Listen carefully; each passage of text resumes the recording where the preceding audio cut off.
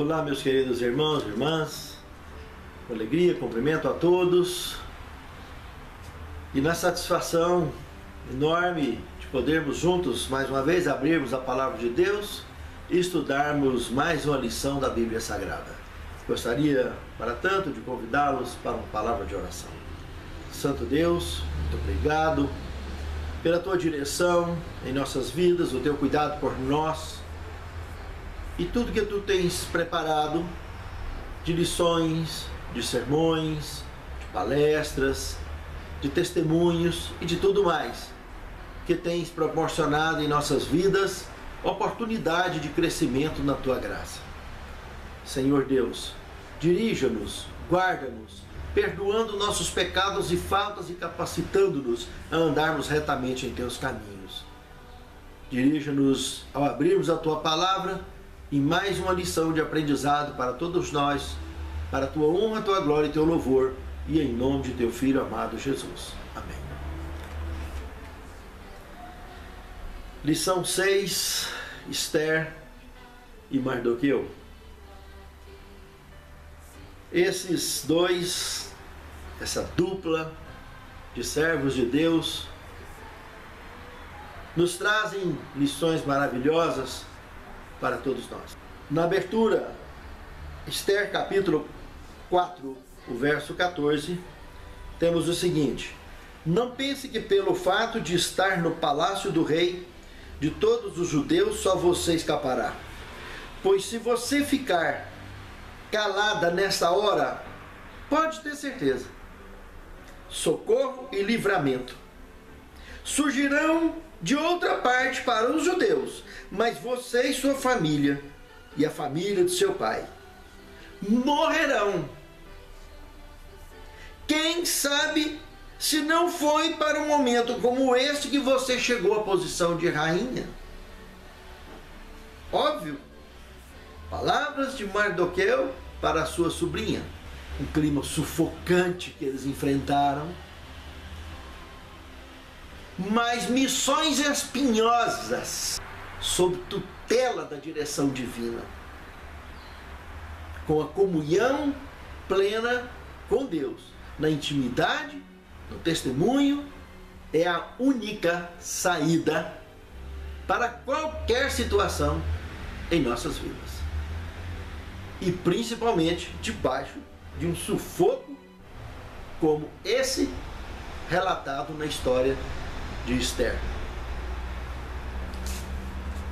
Segundo tema, Esther na Pérsia. Seria interessante uma síntese histórica da Pérsia, para sabermos o que que esses judeus estavam fazendo ali nesse momento, se já tinha acabado o cativeiro babilônico. Vamos lá. O cativeiro babilônico foi de 607 a.C. a 537 a.C. Os 70 anos de cativeiro babilônico e medo-persa que eles, os judeus, enfrentaram, desde a invasão de Nabucodonosor até o governo de Ciro, o persa. Veja que somente em 457 a.C., ou seja, de 537 para 457, nós estamos tratando de 80 anos. Só em 457 a.C., 80 anos depois que terminou o cativeiro babilônico, é que aconteceria a reconstrução definitiva da cidade de Jerusalém que havia sido destruída e dos muros, trocando em miúdo a devolução da pátria nacional dos judeus. Até então, esses 80 anos, eles ficaram dispersos, porque as suas terras haviam sido invadidas pelos samaritanos. Outro ponto da inimizade terrível desses dois povos, que se estenderia até os dias de Cristo. A cidade destruída e sem permissão do império governante, dominante, para a reconstrução, eles iam fazer o que lá? somente reconstruindo o templo, como foi o primeiro decreto de Ciro e o segundo de Dário I, e não restauraria a soberania nacional de Israel, sem uma cidade, sem uma pátria. isso só aconteceria no sétimo ano de Artaxerxes, conforme Esdras 7,7 afirma. Mas então, dentro desses 80 anos, que aconteceriam os três decretos, o de Ciro, segundo, o de Dario I e o de Artaxerxes. O que que aconteceu? Vamos lá? Em 537, como nós vimos, o final do cativeiro e o primeiro decreto de Ciro para a reconstrução do templo e até uma escolta para acompanhar os, os primeiros interessados. Em 529 a.C., morreu Ciro e assumiu Cambises, seu filho, até 522 a.C. Em 522 a.C., aconteceu algo curioso. Um tal de falso Esmerdes assumiu como impostor o trono. Mas ao fim de sete meses, o próprio Dario I, que foi um grande general, um grande auxiliador e apoiador nas campanhas, e era um parente distante de Ciro II, com favoritismo nacional e apoio, muito apoio, ele auxiliou na deposição desse impostor e assumiu o trono. Assumindo ao trono, ele foi até o ano 486 a.C. Neste governo, no governo de Dario, olha algumas coisas que aconteceriam. Primeiro, ele criou um sistema conhecido como satrapias. O que seria isso? Ele dividiu toda a extensão do domínio persa em satrapias, colocando em cada província, então, determinadas como regiões de satrapias, colocando um sátrapa. O que, que seria um sátrapa? Uma espécie de governador local que seria auxiliado por um oficial militar e um escriba. Só que esses dois obedeceriam diretamente ao rei. Por isso, esse período das satrapias foi conhecido como o período rei dos reis. Porque os sátrapas eram pequenos representantes, pequenos reis locais, mas que obedeciam diretamente ao monarca, ao rei maior. Além de que também, durante o exercício das satrapias, foram instalados também um outro trabalho de fiscalização como olheiros do reino. O próprio rei colocava olheiros em todo o reino, enviava em, toda, em todas as províncias como fiscais para observar a administração e traziam relatórios completos ao rei. Muito bem, Dentro desse período também tivemos é, o segundo decreto, em 519, confirmando o de Ciro II, esse de Dario então, em 519, que também não redondou em quase nada. Somente o terceiro que daria isso bem à frente. O segundo rei adiante de Dario. Tivemos também dentro desse período é, Daniel na cova dos leões, foi dentro desse período das satrapias. E tivemos a morte do profeta Daniel, aos 90 anos de idade, que foi nesse período, conforme o relato bíblico. Uma característica que foi impregnada e marcou esse monarca foi a obsessão por dominar a Grécia. Dentre algumas conquistas, ele teve uma bela tunda, uma derrota vergonhosa, conhecida como Maratona, a derrota de Maratona. Ao tentar tomar essa província grega, eles perderam a batalha. E a pessoa que correu para dar essa notícia ao Império Grego, que mal conseguiu contar que correu sem parar o tempo todo. E eu consegui contar que eles venceram e logo ele morreu. Que os gregos teriam vencido. E por isso o nome hoje as maratonas que nós temos, em homenagem a essa a esse indivíduo, a esse fato ocorrido em maratona. E os seus sucessores depois também sofreriam algumas derrotas do gênero até a queda total da Medo-Pérsia. Até a queda total do império. Após a morte de Dario, o seu filho Xerxes assume o governo.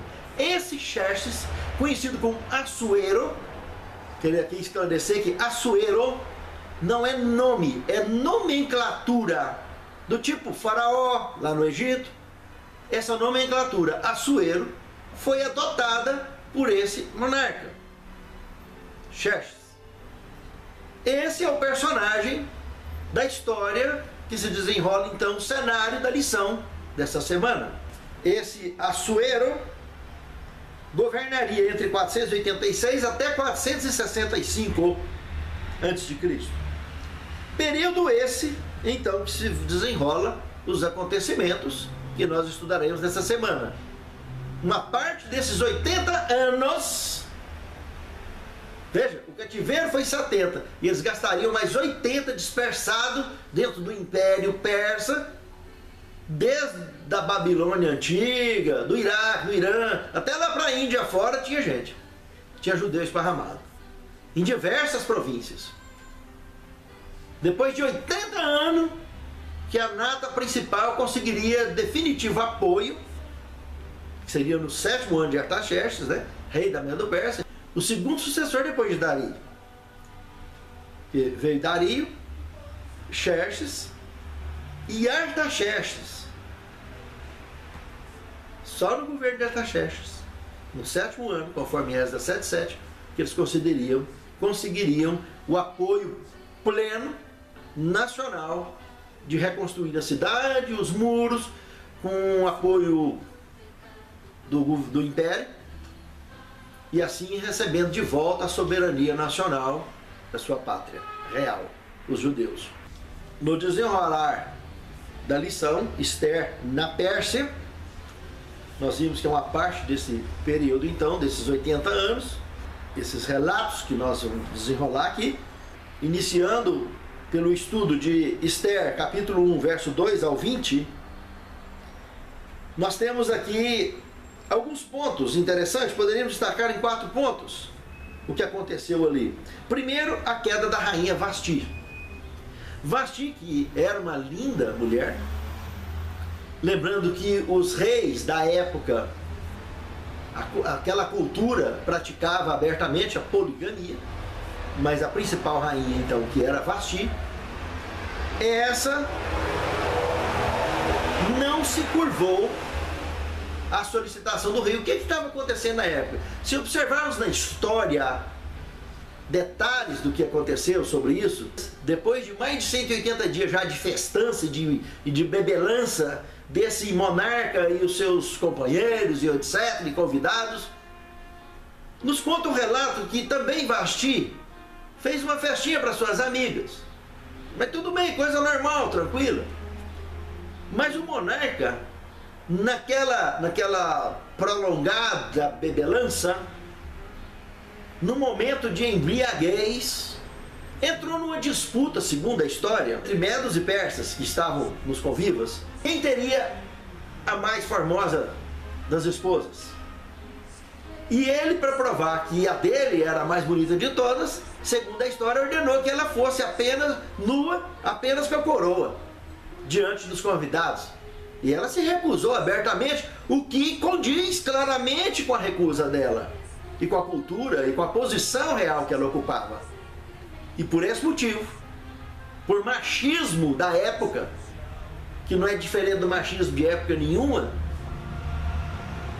do estilo desse, que não aprova a, a ordenação feminina de forma alguma. Machismo inexplicável, sem fundamento bíblico algum.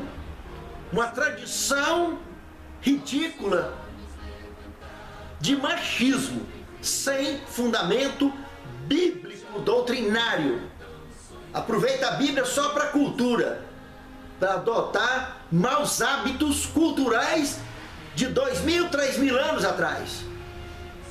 Coisa vergonhosa. É muito seletivo isso, não é mesmo? Usar a Bíblia somente para apoiar coisas do gênero, né? Não sei como é que coisas do gênero de poligamia, do estilo Salomão e outras também não virou moda por aí. É, não tem jeito, né? Mas por que o machismo?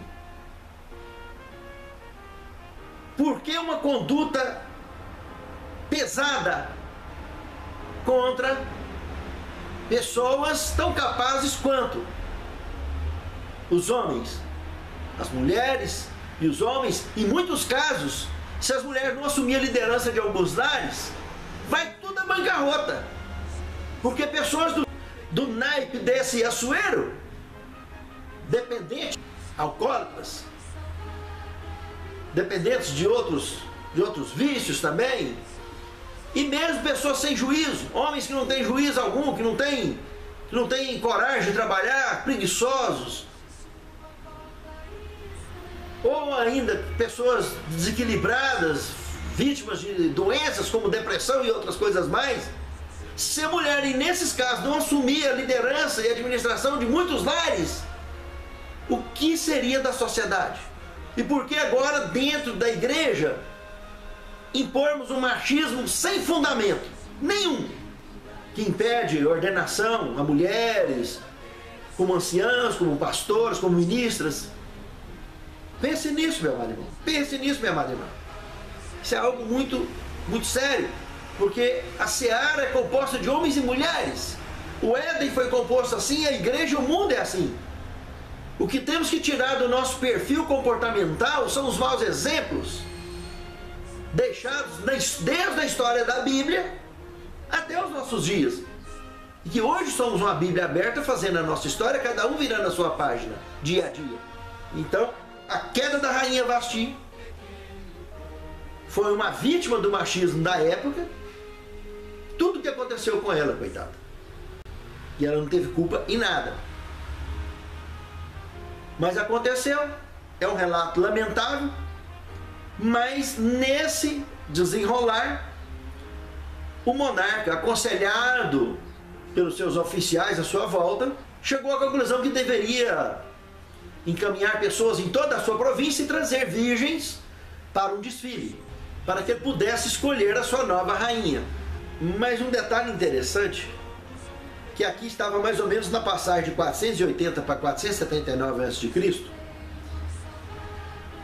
e segundo o relato registrado aí no livro no livro de Esther, no capítulo 2, o versículo 12, Diz que essas virgens eram preparadas durante seis meses com óleo de mirra, um banho com óleo de mirra, contendo óleo de mirra, e outros seis meses com outras essências. Esse desfile de um ano, durante esse período de um ano, que essas virgens seriam preparadas então para ser levadas à presença do rei, para que ele pudesse escolher, aconteceu mais uma investida dele, semelhante ao seu pai, de obsessão por dominar o Império Grego, e aconteceu duas derrotas. Em 480, a de Termópilas. E em 479, a de Salamina. Duas derrotas seguidas. Pensa na corrente que esse rei e o seu exército voltou arrastando para casa. Que depressão que esse cara estava. Então, nessa passagem de preparo, mais duas derrotas, o terceiro ponto. E um quarto ponto agora, o estado emocional desse monarca o Xerxes, o Assuero, foi decisivo para não demorar a escolha da nova rainha. Aonde esse estado emocional, evidentemente proporcionado pelas bênçãos de Deus, dirigida a essa escolhida, a Esther, também se tornou a escolhida desse monarca para resolver assuntos ali na frente que precisaria de alguém para que fosse resolvido aquele assunto lá na frente, que nós vamos comentar daqui mais um pouco. E o perfil dessa rainha que quando apareceu diante do rei, ele de imediato já colocou a coroa na cabeça, não quis nem olhar mais ninguém. Colocou a coroa na cabeça dele, foi amor à primeira vista. Imagine que o perfil de Esther, do reino persa, combina pelas suas estratégias e ações e testemunho, e forma de agir prudência durante os seus passos dentro do reino e diante do rei, combina com 1 Coríntios 9, 19 a 23, que ela sabia, como Paulo disse, a tese paulina, fazer de fraco com os fracos para ganhar os fracos, fazer de forte com os fortes para ganhar os fortes, fazer de judeu com judeu para ganhar o judeu, de grego com grego para ganhar os gregos. Uma estratégia missionária infalível para alcançarmos o devido êxito em nossas abordagens e persistências missionárias. Aprender essa estratégia adotada por Esther, por Mardoqueu e por Paulo funcionou antes de Cristo, depois de Cristo e até os nossos dias. Infalível. E Esther agiu dessa maneira durante o seu testemunho na Pérsia. Terceiro tema: Esther na corte real. Se observarmos Esther capítulo 2, verso 10 e 20, podemos observar ali que a estratégia e prudência adotada por ela sempre desarma o preconceito. Seja ele de cunho religioso, seja ele de cunho político, seja da natureza que for. Prudência e estratégia desarmam com preconceito. Se observarmos o Evangelho de João no capítulo 4, do verso 1 ao 26, Cristo usou dessa mesma estratégia ao abordar aquela samaritana. Observe que, em primeiro lugar, para garantir que nada pudesse causar constrangimento ou ativar o preconceito que era mortal entre esses dois povos, judeus e samaritanos, Jesus agiu no momento em que ele estava sozinho, os discípulos tinham ido para outro lugar. E ao abordar a samaritana, ele não, ele, ele não ele fez igual tomar mingau quente, vai pelas beiradas. Não foi direto no meio, pelas beiradas. Ele não chegou lá tocando em assunto religioso, nem assunto político, nada. Ele foi de maneira clara humildemente, só pediu água.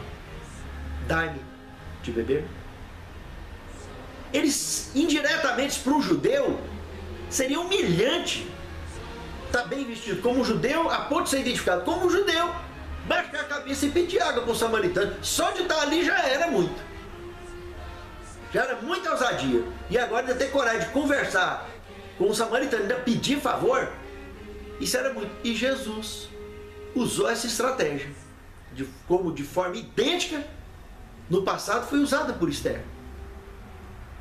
E fechou bonito. E olha bem de que nós estamos tratando. No verso 23 do capítulo 4 de João, Jesus tratou dessa situação de um modo específico, porque aquela mulher era escolhida. Olha o que está escrito lá. A hora vem e agora é em que os verdadeiros adoradores adorarão o Pai em espírito e em verdade, porque o Pai procura tais que assim o adoram. Aquilo revelou aquela mulher como escolhida, independente da conduta que ela viveu até ali. O desejo que ela tinha de ser alguém melhor e os valores que ela cultivava dentro de si, apesar de não ter conseguido expressar aquilo na sua conduta e testemunha até ali então, na oportunidade certa, dessa intervenção divina na sua vida foi o suficiente para que ela se transformasse radicalmente e se tornasse uma nova criatura, colocando aqueles valores bonitos que ela agraciava, que ela admirava na sua intimidade, colocar para fora e ser uma nova criatura. Como foi o caso de Assuero, ao, ao observar essa mesma conduta na sua mulher, a Esther, e do seu tio, Mardoqueu, para desenrolar tudo o que desenrolou a respeito dos judeus, graças ao favoritismo alcançado por estratégias e prudências de fato adotadas pela rainha Esther. Quarto tema, para um momento como esse. Como vimos no verso de abertura, as palavras de Mardoqueu, a rainha, naquele momento, mostrando que se você continuasse calada diante da morte iminente que o nosso povo está enfrentando, pode ter certeza que você, eu, a nossa família, a família do seu pai, vai ser apagada do mapa. Mas Deus vai providenciar outra forma de salvar o povo. É para um momento como este, quem sabe você está indo no trono. Advertiu Mardoqueu. O que a estratégia, observe bem, coisa no sangue, né? Uma estratégia para convencer alguém que já era cheia de estratégia. E foi forte. Porque a força não era humana aí nessa questão, era divina. Ele convenceu então Esther por intuição divina na vida dele e dela. E fez com que ela agisse como agiu e poupou a vida dela e de toda a sua família. Além dos judeus, que corriam o risco de serem apagados no mapa. Sabe, irmãos? Mardoqueu, Esther, Daniel, seus companheiros, José no Egito, Moisés, dentre muitos outros, que enfrentaram períodos de cativeiro do povo de Deus, enfrentaram, cada um em sua época, e hoje não é diferente, enfrentaram a fúria satânica, revelada através do preconceito fundamentalista, político e religioso ainda existente no mundo hoje, eles já enfrentaram naquela época. E como eu disse, repito, não é diferente de hoje, e nem será diferente de amanhã na última grande perseguição, os motivos que levarão a uma última perseguição contra os escolhidos. Esses indivíduos só se livraram por bom testemunho, aliados à prudência de estratégias consagradas a Deus, que os livraram a eles e ao povo, e a muitos, numa intervenção divina, direta e ao ponto. Veja que Esther se tornaria uma transgressora judia da lei real persa ao entrar heroicamente na presença do rei sem convite, como parte de um plano para anular a trama de Amã, que era alguém que o diabo estava fritando no seu testemunho e no seu exemplo e na sua conduta e no seu ódio contra o povo de Deus. A mãe estava sendo usado totalmente por Satanás em ações diabólicas contra o povo de Deus. Esther então tomou a dianteira no, no, drama enfrentado pelos exilados judeus em todo o reino da Pérsia. E nessa história, Esther mostrou abnegação e heroísmo, tato e coragem. Muito interessante. Quinto tema: Mardoqueu e Amã.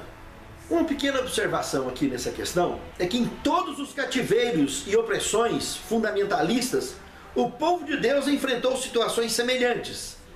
Um vacilo, um vacilo dos responsáveis pelo testemunho decisivo diante de monarcas tendenciosos de monarcas autoritários, de monarcas tiranos, um vacilo seria o suficiente para acarretar desgraça a um povo inteiro que já vinha sendo humilhado há muitos e muitos anos.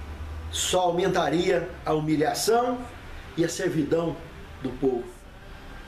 Mardoqueu e Esther tiveram a sabedoria divina como aliados ao traçarem a estratégia de defesa e de contra-ataque contra os conspiradores, a exemplo de Amã, que terminou na forca e a sua família perseguida e executada.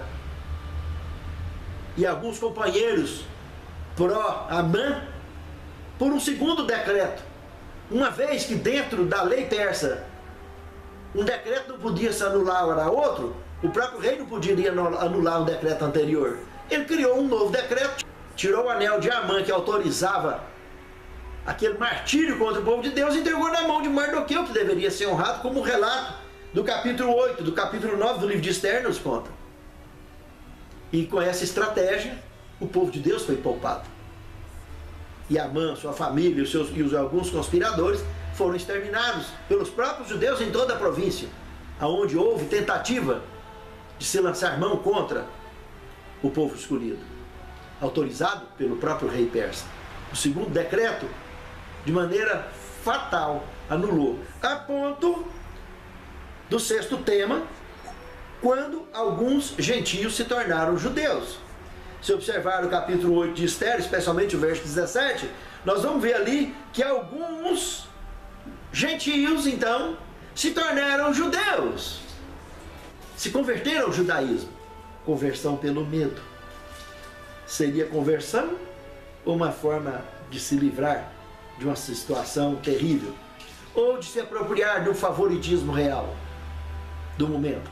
Veja como Satanás age. Mas não tem problema.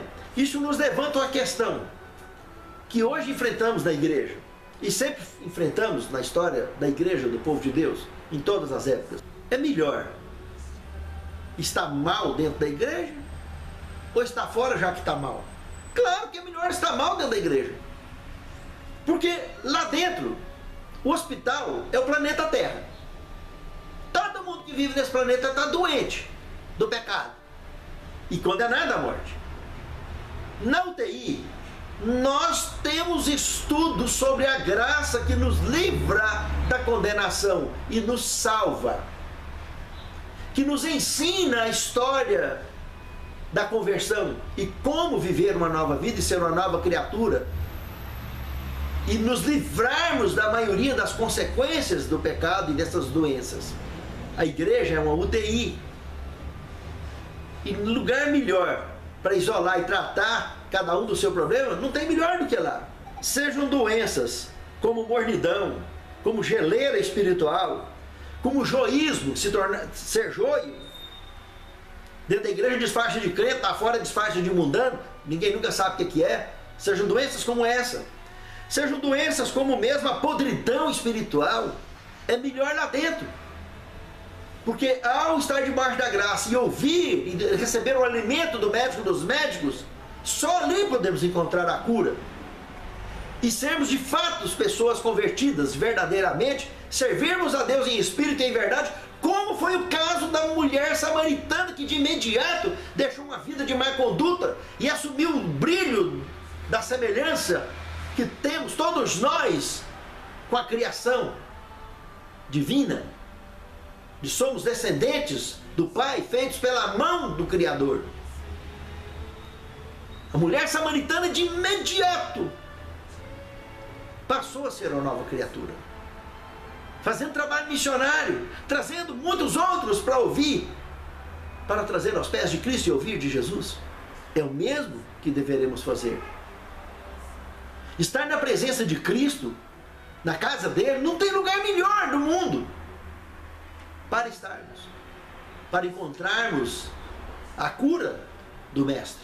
Finalmente, sétimo tema: lições para o remanescente.